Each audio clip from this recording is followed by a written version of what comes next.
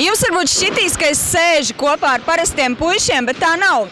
Viņi ir no Francijas un vēl jau vairāk viņi ir Crazy Dunkers. Kas ir Crazy Dunkers? Es domāju, ka to viņi parādīs paši. Akrobātiskā slamdanga komanda ar nosaukumu Crazy Dunkers, jeb trakie dankeri, Ventspilī ieradās no Francijas kā pārsteiguma dāvana Olimpiskā centra Ventspils jubilejas pasākumā. Ventspilī savus pārgalvīgos trikus rādīja pieci dankeri – divi Alekši, Džimijs, Kamils un Damjons.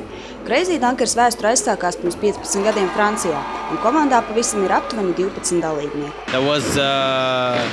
Uh, uh, some friends who, was see, who have seen uh, on TV and wanted to try, and now it's a professional team and we uh, travel all around the world.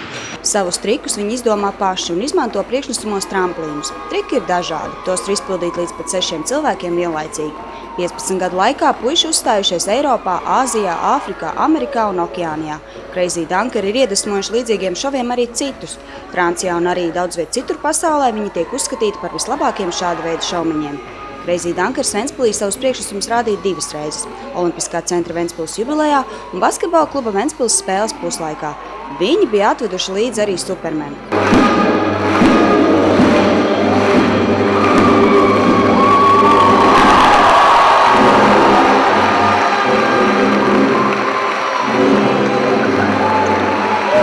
I wish I could fly like him, but unfortunately, I just have to use the tram.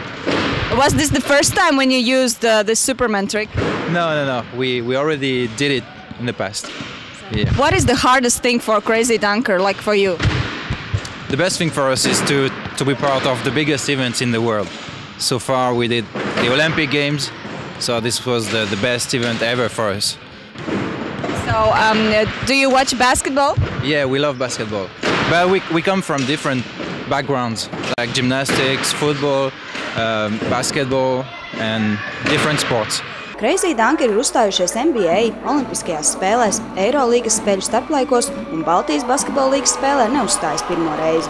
We already did something with the Baltic League in Kazakhstan last year, so we, we already watched uh, this kind of basketball game.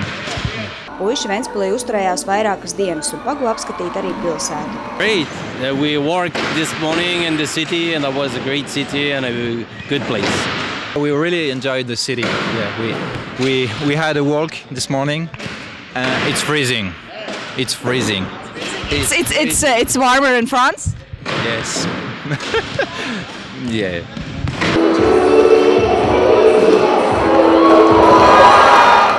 Some uh, good wishes for Ventspils people. What can you say?